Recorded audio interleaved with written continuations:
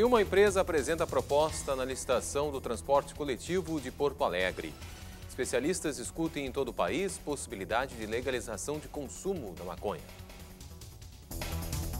Em Porto Alegre, o debate foi sobre experiência uruguaia de regulação do consumo. Exército faz ação social no Morro Santa Teresa.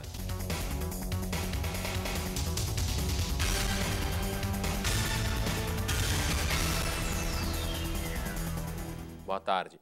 A experiência uruguaia de regulação do uso da maconha foi debatida nesta manhã na Câmara de Vereadores da capital. As políticas para as drogas, especialmente a substância que é conhecida como marihuana, em alguns países estão sendo discutidas em todo o país.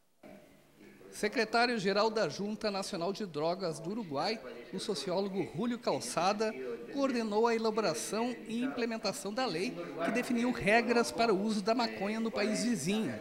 Ele falou sobre a experiência uruguaia esta manhã no seminário que ocorreu na Câmara de Vereadores de Porto Alegre. Não se trata de uma legalização, de uma liberalização do mercado, sino se trata de regular eh, un mercado, de establecer una intervención eh, clara, precisa del Estado en todo el proceso de plantación, producción, distribución y dispensación de la marihuana. Eh, lo segundo, en términos de cuál es el impacto, eh, me parece que lo más importante en este proceso de dos años que se inició el 20 de junio del 2012, eh, vinculado a la discusión de ese tema, es que eh, se ha instalado la discusión del tema en la sociedad. No Brasil, o debate envolve pesquisadores, acadêmicos, ativistas e políticos. Uma proposta de iniciativa popular sobre o tema, com mais de 20 mil assinaturas, está em discussão no Senado. A gente recolheu em tempo recorde via internet, no sentido de acelerar essas reformas, acelerar essa, essa questão de que a gente não está mais discutindo se nós vamos legalizar, e sim como vamos legalizar como vai ser o processo aqui no Brasil. São decisões políticas que estão nos fazendo chegar a essa realidade de violência. E nós precisamos pensar novos caminhos, novas alternativas, o que, que outros países, né, outras sociedades estão construindo de alternativas para reduzir tanto a violência quanto o consumo uh, problemático de drogas. Né? Audiências públicas estão sendo realizadas em diversos locais do país com o objetivo de ouvir a sociedade sobre propostas de regulamentação para uso recreativo, medicinal e industrial da maconha. Nós temos hoje no Brasil uma taxa de encarceramento muito elevada e boa parte dos presos, em torno de 30%, são por uh, pelo mercado da droga, são pequenos traficantes, e isso não tem uh, surtido nenhum efeito do ponto de vista da redução do consumo ou mesmo do próprio mercado. Então é preciso debater o tema, é um tema ainda interditado muitas vezes por questões morais, mas na verdade todos nós de alguma forma somos contra uh, o uso de drogas, precisamos conscientizar as pessoas dos danos que elas provocam, no entanto precisamos também colocar em questão a utilização do sistema penal como mecanismo uh, de controle desse problema social. Tem aspectos vinculados ao controle da oferta de drogas. Eh, não podemos pensar uma política para o cannabis eh, por afuera de este conjunto de políticas. Os defensores de uma política com ênfase na coerção ao uso de qualquer droga argumentam que a maconha pode levar ao consumo de substâncias mais pesadas. Também consideram que as experiências mais liberais em relação a ela provocaram aumento no número de usuários e mais prejuízos do que benefícios para a sociedade como um todo.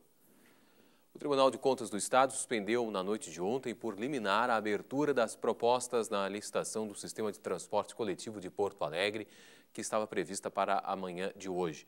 O relator do processo no TCE, conselheiro Pedro Henrique Poli de Figueiredo, disse que concedeu cautelar em favor da Associação de Transportadores e Passageiros por causa da insegurança em relação às cláusulas do edital e também porque a EPTC não havia respondido a questionamentos sobre pedido de impugnação do edital. No final da manhã, a Prefeitura conseguiu derrubar no Tribunal de Justiça do Estado a liminar em favor da ATP. No entanto, nenhuma empresa apresentou proposta na licitação e o processo terá que ser reiniciado.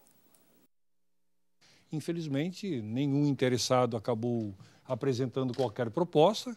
Com isso, a comissão de licitação encerrou os seus trabalhos e, ao encerrar os seus trabalhos, termina-se com o processo de licitação.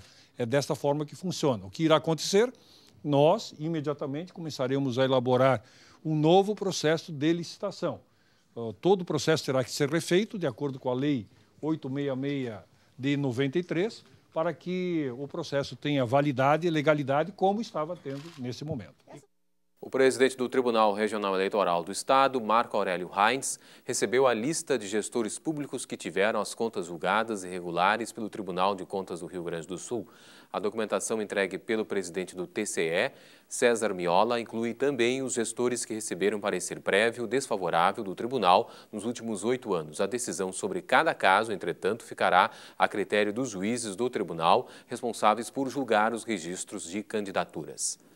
Canoas realiza a 14ª Conferência do Observatório Internacional de Democracia Participativa. O evento debate experiências de participação cidadã que ocorrem no mundo. O Observatório Internacional de Democracia é composto por uma rede de mais de 550 cidades do mundo.